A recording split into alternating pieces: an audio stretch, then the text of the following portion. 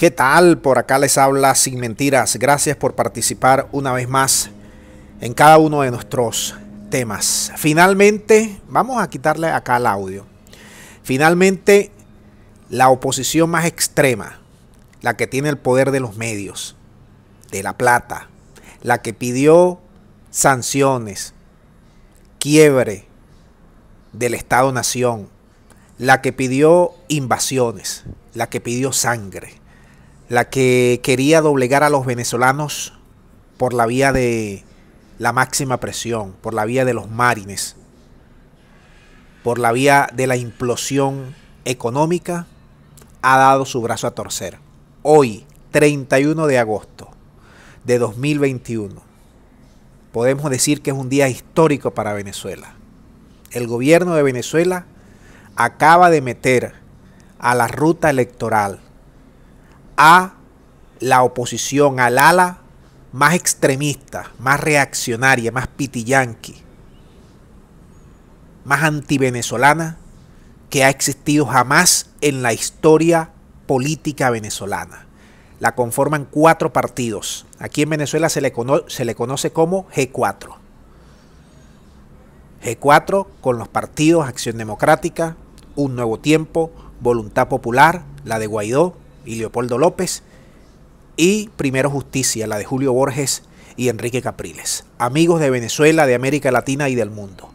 Hoy han anunciado, y esta es parte de ese anuncio que se hizo, que van a competir en las venideras megaelecciones a realizarse el próximo 21 de noviembre y que sus candidatos han llegado a un acuerdo que los candidatos de esos cuatro partidos van a ser representados a través de la tarjeta de la MUT, de la antigua MUT. Ustedes se acuerdan, los que son sobre todo venezolanos, saben quién es esa sigla, MUD.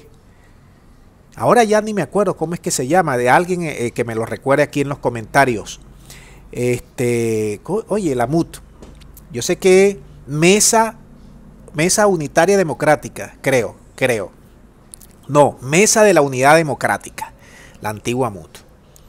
Y Ramos Ayub, este señorito que ustedes ven acá, en su participación, en su disertación a los medios de comunicación, dijo que era hora de participar electoralmente porque Estados Unidos y la Unión Europea dieron así la orden, así lo dijo.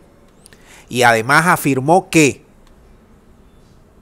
se le preguntó, mira, ¿y cómo es esto que llamaste estos últimos cuatro años a no participar en ninguna elección porque estaba viciada, porque el Consejo Nacional Electoral de Venezuela no sirve, porque es un fraude. ¿Y cómo es que ahora has cambiado de posición?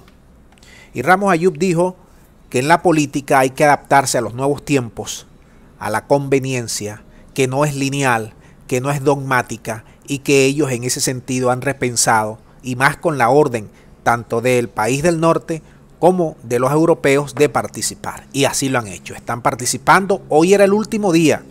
Acuérdense que se le había dado una prórroga especial de 24 horas. Y hoy se vencía. No, perdón, es mañana, eh, el primero de septiembre. Hoy, digamos que era el último día y para mañana le habían dado una prórroga especial, el primero de septiembre, para inscribir pues los candidatos de esto. Pero yo quiero recordar a todos los venezolanos lo siguiente. Esto no quiere decir que van a ir unidas todas las oposiciones. Recuerden muy bien amigos de toda Venezuela, los que quieren gobernar, los que dicen que son mejores que el actual gobierno de Venezuela, están divididos hasta en 20, 30 toletes, 30 partes, 30 fracciones.